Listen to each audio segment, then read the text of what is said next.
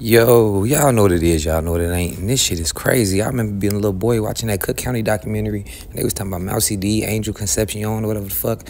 And at the bottom right of the screen, that's him right there. Went from Mousie D to fucking, you know, you know, use the word whatever fits your imagination. But a man is charged with participating in the 2018 shootout that left one dead and three injured.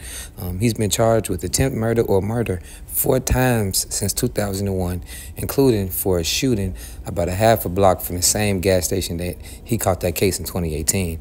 Now, if y'all remember who Angel Concepcion is, aka Local D, just type in that name in YouTube and you'll see him in Cook County causing havoc. They even said if they was to move him to another facility, he would lose the power that he had in the county. And allegedly, the reason why he looked like that is because he was turned out in a New Jersey prison.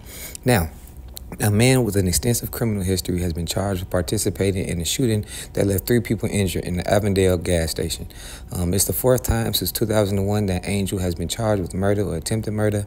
Um, one of the earlier cases involved a shooting just a few yards from where the 2018 shootout occur occurred. Uh, two groups in 2018 arrived at that Shell gas station. Uh, 3001 was Belmont. They got into a dispute. Um, one man got out of each car, so it wasn't just Angel, it was from each car. So that should tell you right there, like he might get like self defense. If he beat all them charges, he might get self defense or some shit like that because dude participated in it. But um, they got out of each vehicle with guns. Well, one person, they two people stepped out to argue, and then from one person from each car. Then another group of people stepped out from each car. Um, but this time um, each person um, had a vehicle in their hands and they engaged in the shootout. A 24 year old woman was left critical condition. Two men passed away. Um, and another man was killed as well or left in critical condition. Um, a judge signed in a warrant on a, a, warrant for his arrest to get him up to go find him and lock him up. But he was already in New Jersey, uh, serving an eight year sentence for unlawful use of uh, unlawful possession of a weapon by a felon.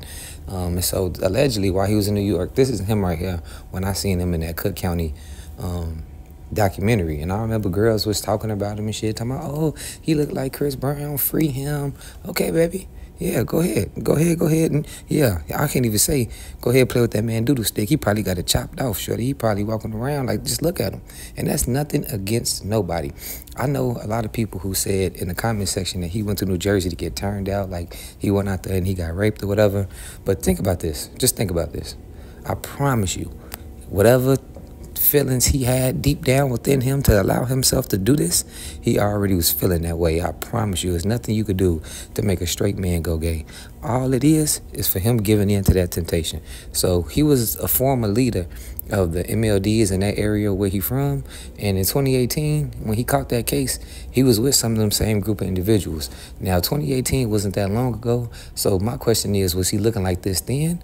Was he slowly transitioning into acting the way he act?